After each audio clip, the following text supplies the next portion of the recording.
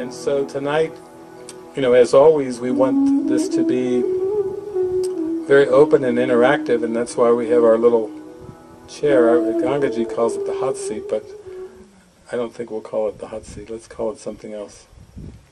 The love seat. The love seat. And it's not I'm, it's not hot at all. It's very comfortable up here. And we like to the sun's going down so we can do a little eye gazing too. So yeah, we just open it up. We're into the practical.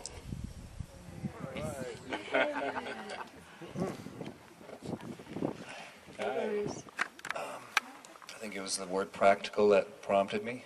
Um, it actually came up to me yesterday during your talk in the afternoon.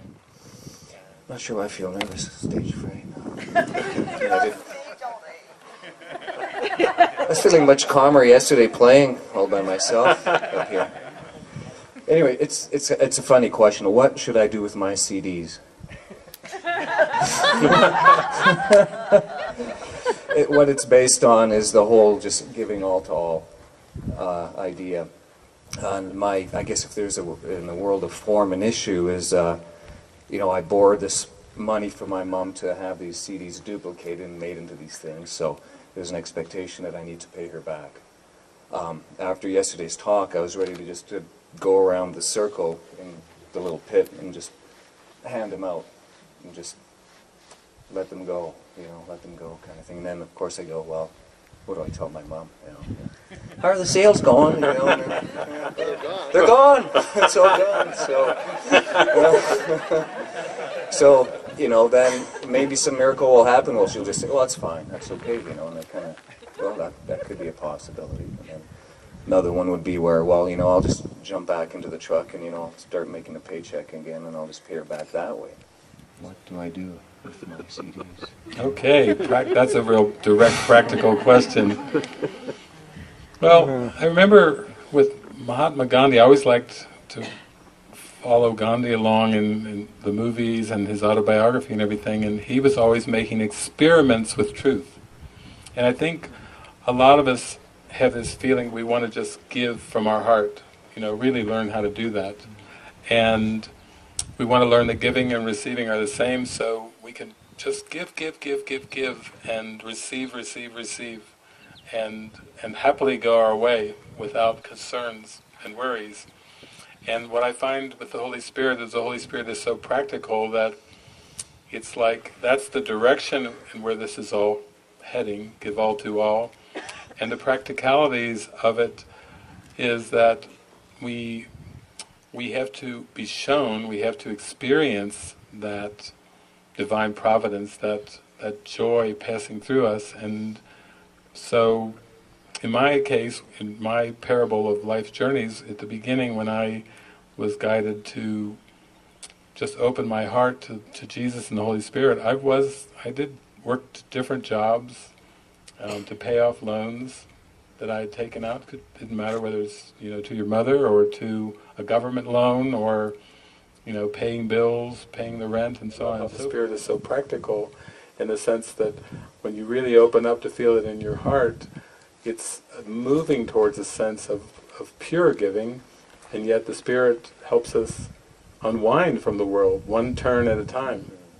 And that's where we can really feel it out.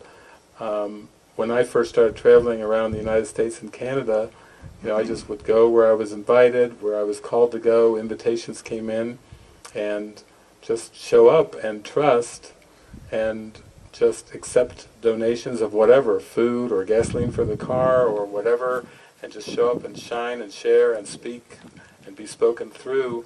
And that was good practice at seeing how things were working and coming out.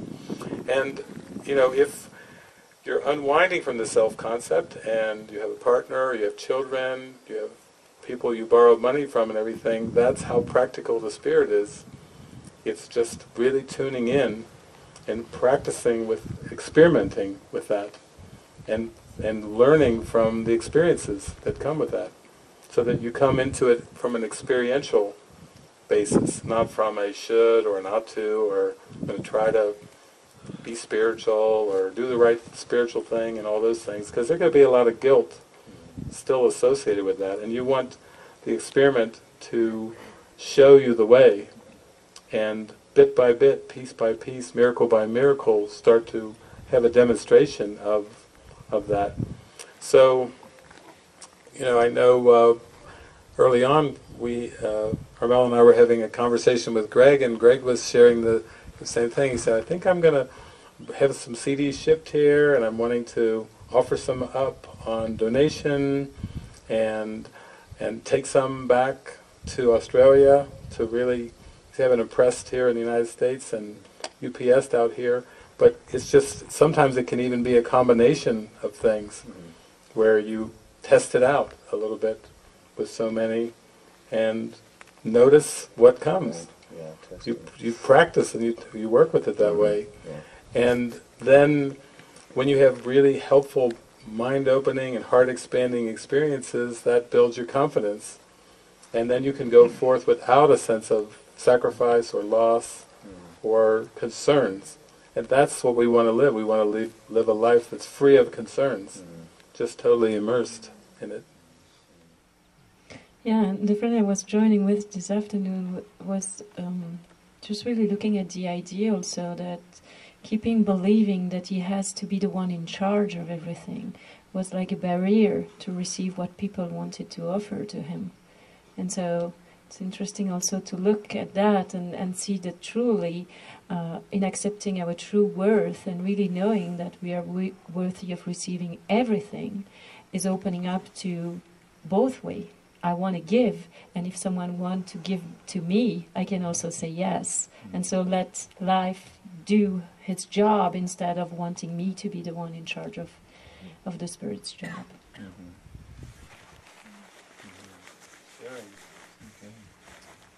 How wonderful that is.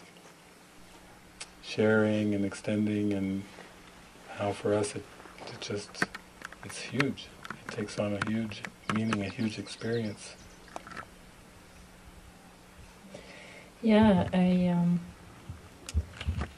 I've been looking at, a lot at that since the talk, giving it all to all, because I feel like that's been the calling of my heart since so many years, even before being in the course.